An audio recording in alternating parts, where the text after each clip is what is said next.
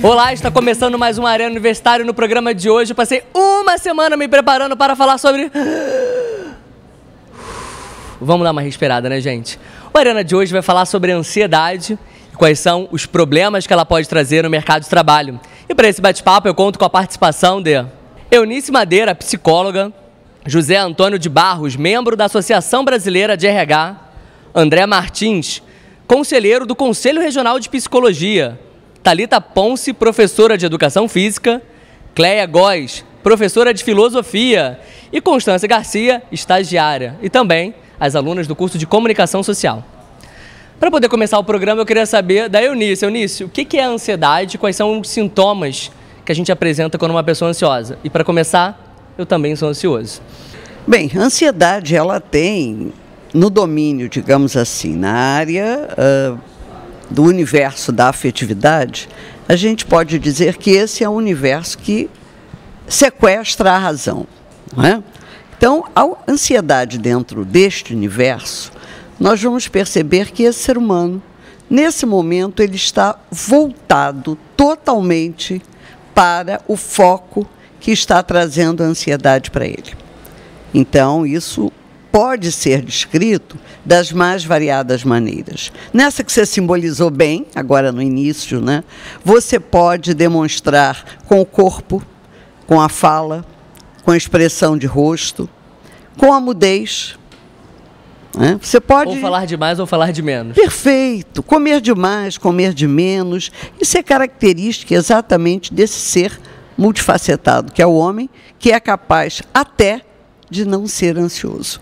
Mas, José, eu queria saber quais os problemas que essa ansiedade ela pode trazer para o indivíduo no mercado de trabalho. Quais são os problemas que o indivíduo pode ter na hora do trabalho, quando ele é ansioso demais?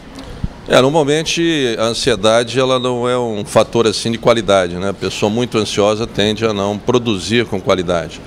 Então acho que é importante que a pessoa tenha esse controle. E como foi colocado muito bem, eu acho que isso é uma questão de tempo. Eu vejo por mim. Hoje cheguei, vamos dizer assim, à maturidade profissional, com 60 anos de idade, você já tem uma visão da vida diferente.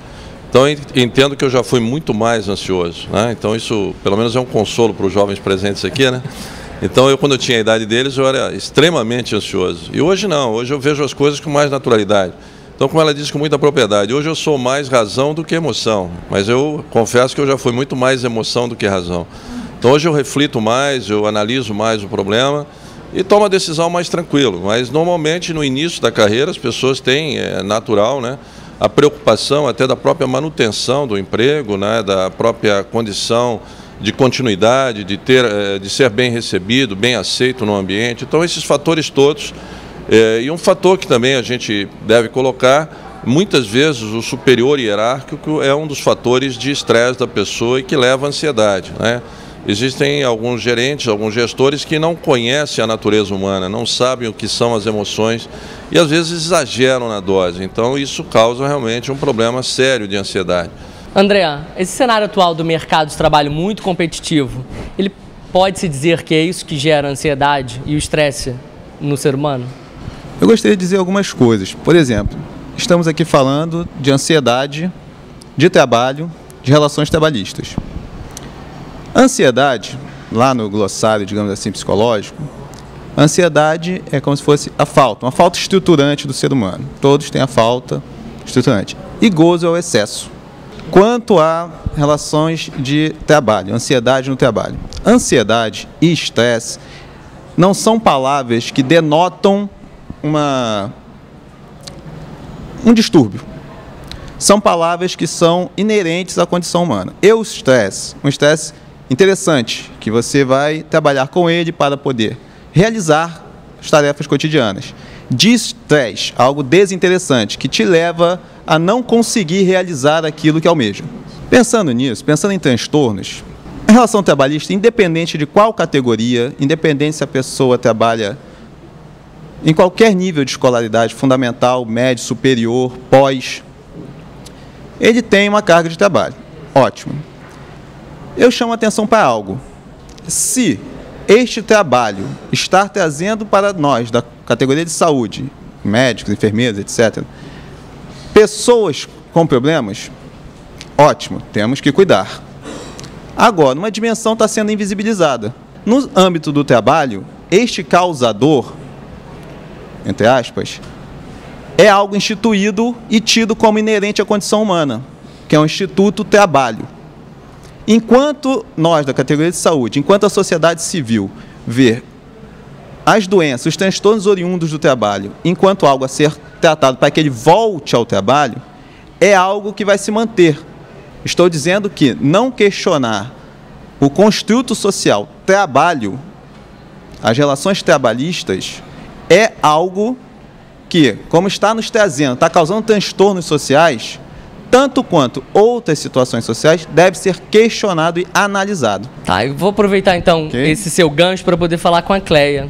Ela é filósofa, professora de filosofia. Será que é uma pessoa zen, discutindo filosofia ou não? Dentro de sala de aula é aluno, é prova para corrigir, aluno pedindo meio ponto para não ir para a prova final. Cleia, afinal, é uma pessoa ansiosa ou uma pessoa calma? Calma. Gente, ela é professora, ela não pode ser calma, mas ela é Posso. é calma. A questão da ansiedade que vocês estão falando, o que acontece hoje, eu já conversei com a professora Lourdes, é a supremacia da razão sobre a afetividade. O que, que acontece quando a gente está, estamos né, aplicando prova, aluno pedindo meio ponto, professora fiquei por dois décimos, vou, dou revisão, acalmo. Mas, ao mesmo tempo, é proibido você externalizar dentro de sala de aula, às vezes, no trabalho principalmente, o seu lado afetivo. As pessoas deixam de conhecer o lado humano do outro ser humano e de si próprio. Você acaba, como vocês todos, né? Nós valemos pelo que nós temos, não pelo que nós somos. Aí você começa, você perde uma pessoa, alunos têm luto, professores têm luto, têm problemas, você fica embotado de não poder conversar, de não poder, sei lá, é aquela coisa de ombro amigo, poxa, você está sofrendo, você fica embotado, você não sabe mais fazer isso, porque você não sabe fazer isso com você próprio. Eu queria saber, Thalita, como é que a educação física, como é que a atividade física pode ser benéfica para o funcionário dentro da empresa? Só dando um, é, uma geral sobre o assunto, algumas empresas de uns tempos tempos para cá vêm investindo em qualidade de vida com atividade física dentro do, dentro do ambiente de trabalho através da ginástica laboral ou montando academias mesmo com as atividades mais conhecidas no mercado em geral de atividade física.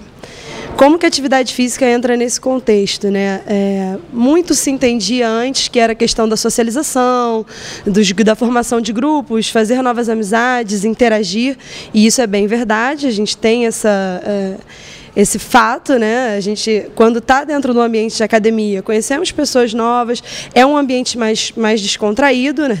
Dentro da empresa, por vezes, se torna complicado, às vezes, como ela falou, você é, não pode se mostrar totalmente, né? Você tem que se proteger um pouco. E parece que a academia, mesmo dentro da empresa, faz, com que a pessoa saia daquele ambiente. Então ela fica mais à vontade para fazer novos amigos, para expor determinadas dificuldades e, enfim, e necessidades. Fora isso, a gente tem também muitos estudos provando a relação da fisiologia com isso, né? A liberação de determinados hormônios que tem uma relação bem íntima, né, com a, a o centro de, de, de, de prazer do cérebro, né? E isso, além da, vamos, vamos assim, unir as duas ideias, né? É, o social e a fisiologia também é, provando que a atividade física entra nesse contexto, dentro e fora né, do ambiente de trabalho, auxiliando no controle desses distúrbios emocionais. Vou conversar agora com a Constância, ela é aluna de jornalismo e estagiária. Quem disse, quem disse que a gente tem que se formar para começar a ficar ansioso? Não, o estágio já é a porta de entrada para a ansiedade. Mas eu quero saber da Constância. Se ainda é estagiária e já está estressada, já está ansiosa demais, é isso mesmo? Olha, minha mãe costuma me dizer que assim, eu atrasei um pouquinho para nascer, então era muito calma. E aí eu cheguei ao mundo e a ansiedade tomou conta de mim. É, eu acho que eu sou a pessoa mais ansiosa que eu conheço. Sinceramente, eu não conheço ninguém mais ansioso do que eu. Eu tava uma pilha de nervos antes do programa começar. A Mariana, a produtora, foi falar comigo e eu tava, ah, não, tudo bem, super calma. Ela saiu da sala, eu comecei a enlouquecer.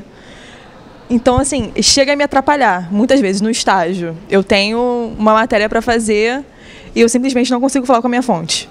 E aí aquilo começa a tomar conta de mim e eu fico desesperada tentando achar uma nova fonte, eu não consigo. E a fonte que eu já tinha não consegue me responder. E eu sento e falo, não, eu tenho que me acalmar um pouco.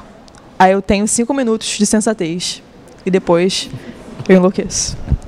Hoje a gente está discutindo aqui no Arena a questão da ansiedade quando atrapalha o dia a dia dos profissionais. Mas vou aproveitar, José, que é profissional de RH, trabalha muito tempo nessa área, para tirar uma dúvida. E aqueles que ainda nem estão no mercado de trabalho. Como é que eles devem se comportar numa entrevista? Queria que você desse uma dica. Vamos fazer um geralzão. Que dica pode ser essa para a pessoa se portar bem numa entrevista? É, entrevista é um momento complicado, né? Porque começa o seguinte: normalmente, se o entrevistador também é um iniciante, ele normalmente acontece a transferência, ele está mais ansioso do que o próprio entrevistado. Então, quando o entrevistador é um profissional, ele tranquiliza, né? Então, então a gente usa o rapport, que é o que a gente chama de quebra-gelo, conversando geralmente informalmente com a pessoa, é, buscando uma conversa do cotidiano, algo do dia a dia, como por exemplo falar sobre o clima, né? Não tem uma conversa mais fácil, falar, será que vai chover hoje, né? E aí a gente inicia a entrevista, fazendo então as perguntas básicas e a gente começa a perceber novamente um certo estresse, né? Só de cruzar a perna ou senão bater com os dedos na mesa, então a gente percebe que a pessoa continua com problemas. Então a gente faz um novo rapport, né? faz uma nova, uma nova série de rapport, e isso daí acalma a pessoa e ela então volta à condição normal. E aí a partir daí a gente faz a entrevista tranquilamente. Então essas seriam, seriam as técnicas para se fazer uma boa entrevista. Eu quero agradecer a participação de todo mundo hoje aqui no Arena Universitário. Nosso programa chegou ao fim. Estou super relaxado. Já relaxei completamente. Também o programa chegou ao final. Mas na verdade estou ansioso de novo, porque na semana que vem a gente tem um novo encontro. Tchau e até a próxima.